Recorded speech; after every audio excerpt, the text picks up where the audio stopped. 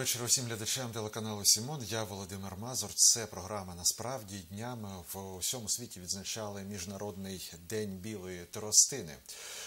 День, який е, власне закликаний до того, щоб ми зайвий, хоча ну звідки ж там зайвий раз, звернули увагу на ті проблеми, які виникають у незрячих людей або у людей, яких поганий зір. Власне про ці проблеми, про те, як живеться таким людям у нашому місті, у нашій країні, в наші дні, поговоримо сьогодні з гостем, якого я з великим задоволенням представляю. Отже, адвокат, керівник асоціації незрячих юристів, представник Національної асамблеї осіб з інвалідністю України у Харківській області Олег е, Лепетюк. Олеже Леонідовичу, доброго дня.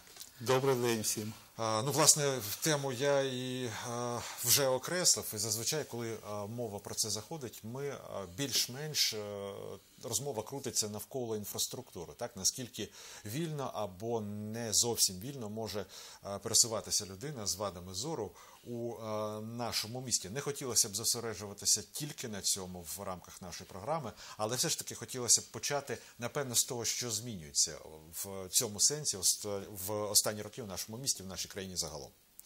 Ну, почати, я думаю, власне, потрібно з того, що День білої тростини почався саме з того, коли а, тростина почала бути білою.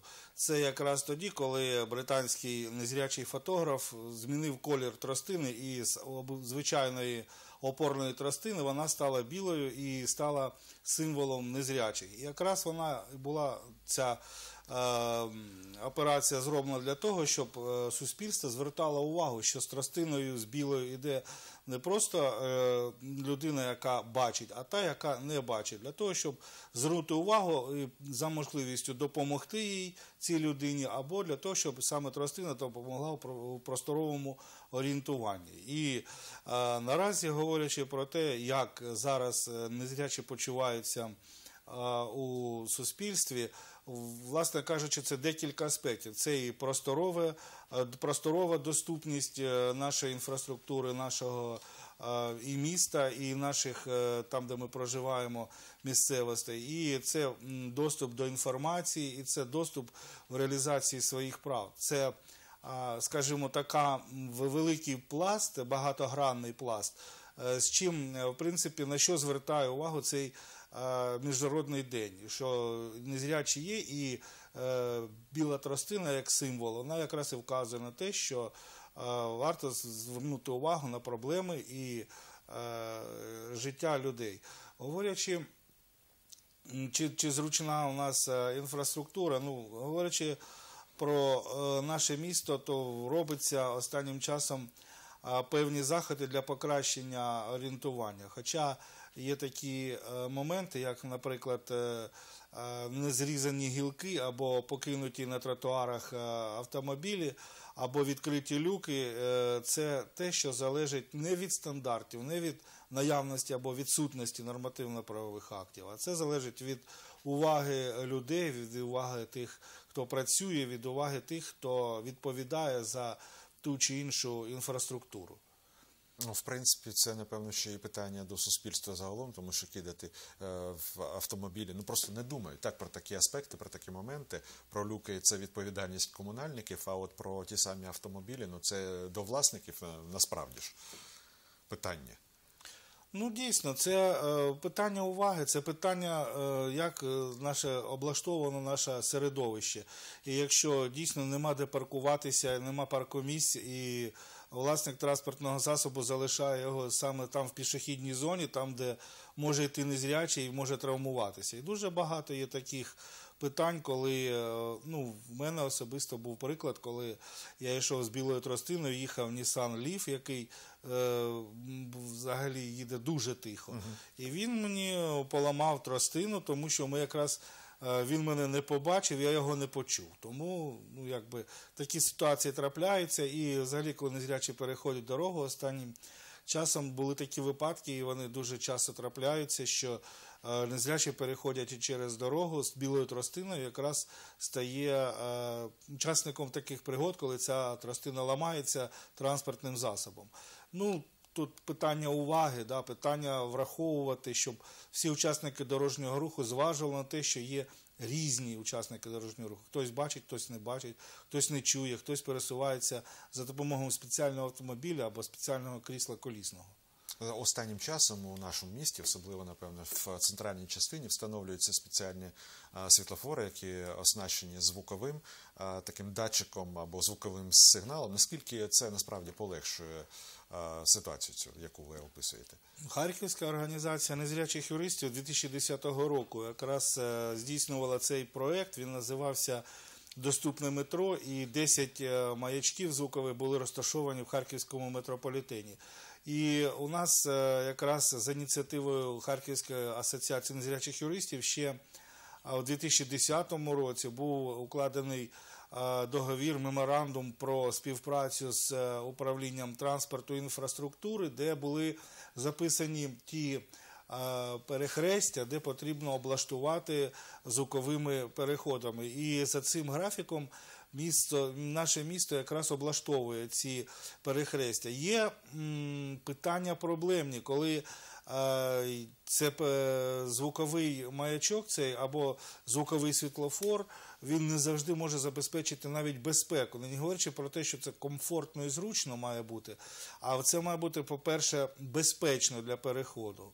Ну, є такі питання і такі переходи, де декілька смуг.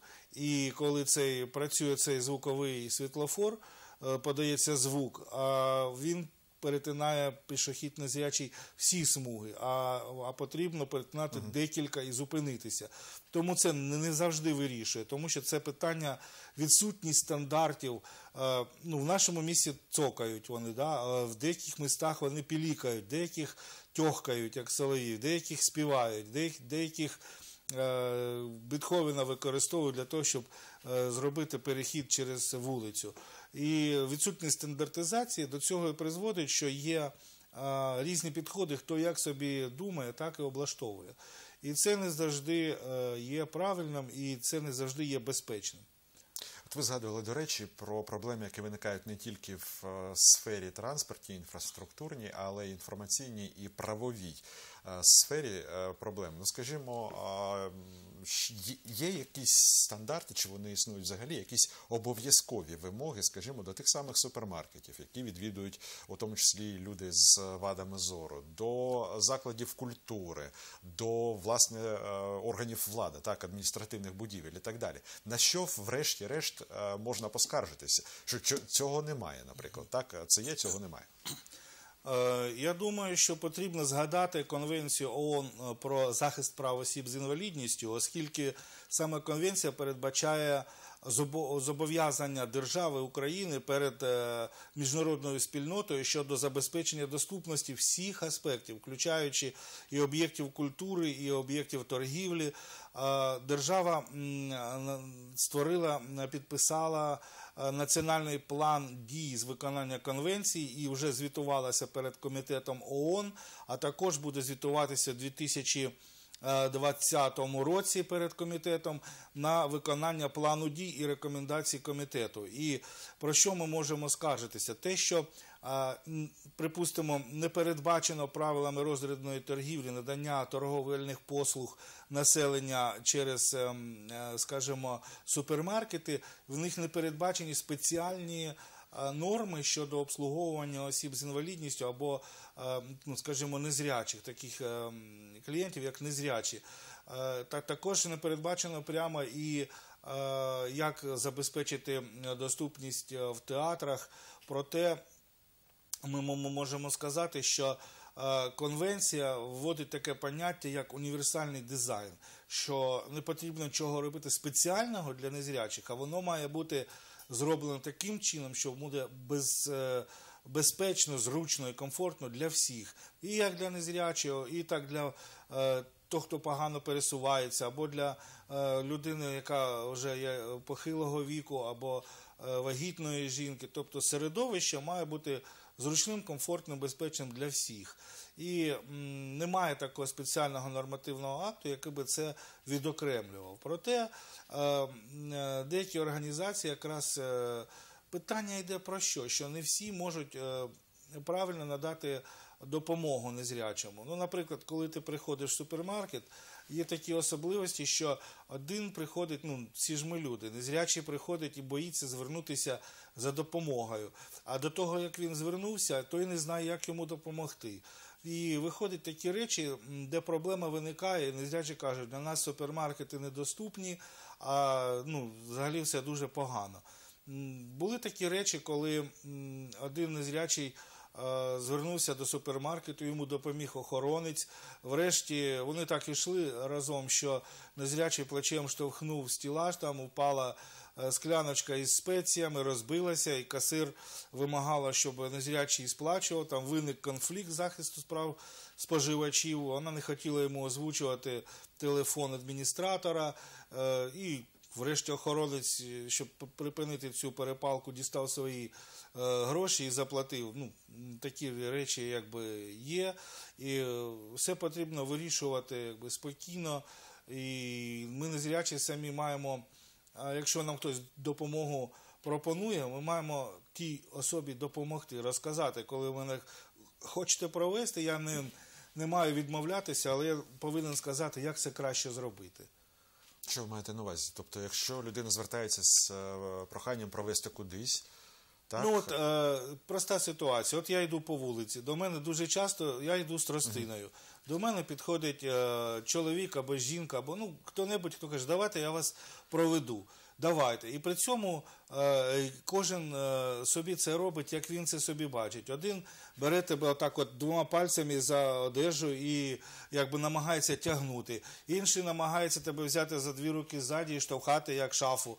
Е, третій намагається твою руку прибрати, коли ти йдеш тростиною, там підняти руку, щоб там, де я маю намацати бордюр, то, то, то, то та людина намагається якраз підняти руку, щоб думає, щоб я не спіткнувся. І якраз ну це від того, що люди.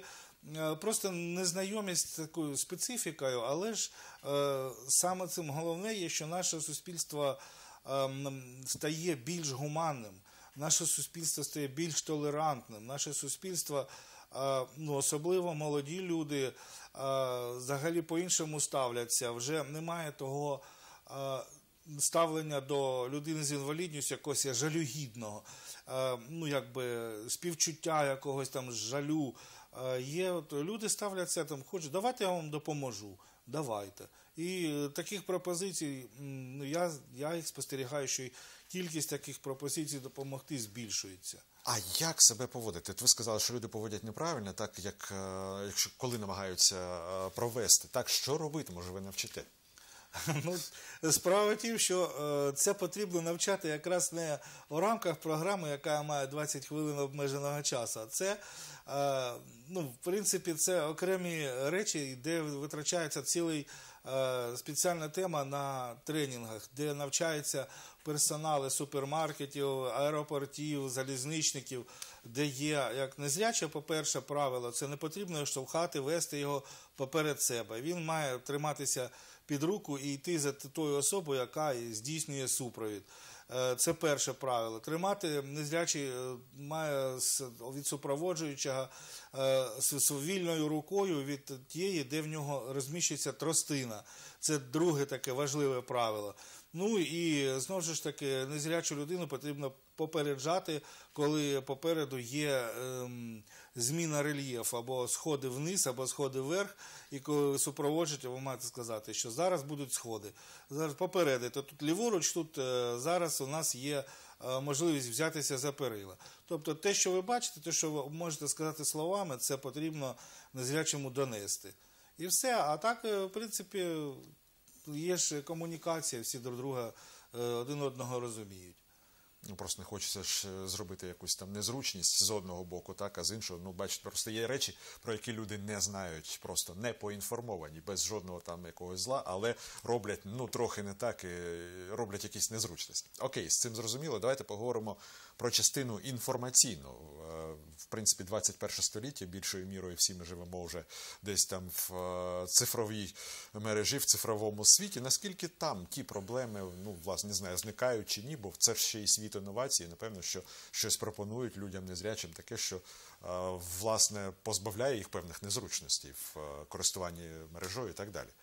В е, 70-ті роки е, минулого століття було таке поняття, що людина з відсутністю зору незряча втрачає 80% е, інформації, яка вона отримує. І е, вважалося, що м, е, незрячі сліпота це є найтяжчою е, формою категорією інвалідності. Е, Наразі, на щастя, ми маємо рух технічного прогресу, і саме в доступі до інформації ми маємо великий прорив, коли незрячий може читати будь-яку книгу, коли він може користуватися на рівні з іншими соціальними мережами, може працювати в інтернеті на рівні з іншими. Тобто технічний прогрес дарує нам, ну, наприклад, от за допомогою звичайного смартфону ми можемо знати і котра година. 16 часов 37 От, минут. ми можемо розблокувати. Устройство разблокировано. От, він працює 20 брейкер. і все говорить про те, що знаходиться на екрані. Тобто Экрана экран выключен. И вызов.